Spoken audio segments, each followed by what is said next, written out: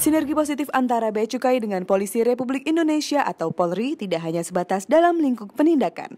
Hal ini dibuktikan dengan kedatangan peserta pendidikan dan pelatihan sekolah staf dan pimpinan tingkat tinggi atau SESPIMTI pada kantor pusat Bea dan Cukai pada tanggal 31 Agustus 2018 untuk pembekalan materi tentang tugas dan fungsi Bea dan Cukai dalam mendukung pembangunan nasional.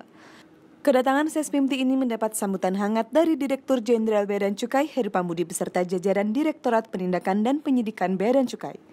Widya Iswara Utama Sespim Irjen Pol Suroso dalam sambutannya menyampaikan tujuan dari kunjungan ini adalah untuk memberikan pegangan kompetensi khusus, keterampilan, dan juga pengetahuan untuk ke depannya bersinergi dengan penegak hukum salah satunya Direktorat Jenderal Bea dan Cukai. Pertanyaan yang bagus bahwa apa yang dibangun itu merupakan suatu bentuk fenomena yang sekarang harus uh, menjadi satu keniscayaan, tidak bisa kita hindarkan bahwa bekerja sendiri itu tidak efektif dan tidak efisien. Maka itu perlulah bangunan bersama itu yang berupa sinergi itu merupakan suatu keniscayaan yang harus digarap bersama untuk meningkatkan penerimaan pajak dan untuk melakukan law enforcement di lapangan merupakan bagian dua sisi yang bersama-sama diemban oleh uh, Dirjen Pajak itu merupakan bagian yang tidak lepas juga tugas-tugas kepolisian juga untuk saling bersinergi menyongsong bagaimana polisi dan Dirjen Bea Cukai ini bisa berjalan dengan baik.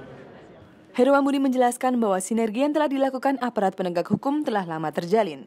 Ia juga menyampaikan bahwa pada saat awal dibentuknya Negara Kesatuan Republik Indonesia, para penegak hukum terpilih dari para pejuang kemerdekaan bangsa terdahulu, sehingga kekompakan dan sinergi antara aparat penegak hukum dapat terjalin dengan baik. Dari kantor pusat Badan Cukai, Kanal BCTV mengabarkan.